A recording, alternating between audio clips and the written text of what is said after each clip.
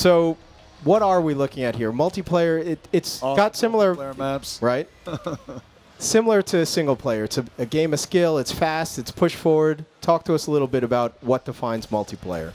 Yeah, it uses a lot of the same, uh, you know, obviously the same mechanics that we have in single player. Amazing guns, um, fast vertical movement. You, you've seen, uh, you know, the, the double jump mechanic being used there. Uh, you know, I think a lot of people here, here this is kind of a, a, a brand new thing for us. Is uh, we have these power ups in the world that allow you to turn into a into a demon.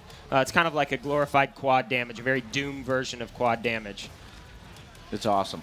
Yeah, no, it's, it's a ton of fun. Your skills are, are super transferable between single and multiplayer because Yeah. in single player, our, our AI and our design of the game, core design, makes you move, right? You got to move. And those transfer right over to multiplayer. And it is fast, fast, fast. It is so fun to get in. It's a, yeah, yeah. it's really. Who's the best at multiplayer among the four of you?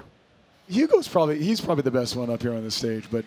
But it's a, it's a little bit of a young man's game. It's, It's, it's going to kill it's me. younger say thumbs. This. Kill- kill me to say this, but if he's watching, Evan Eubanks might be the best in the office. Yes. Good. But I, I Uh, always bust his chops. I, so we, we tend to let him win, though. So.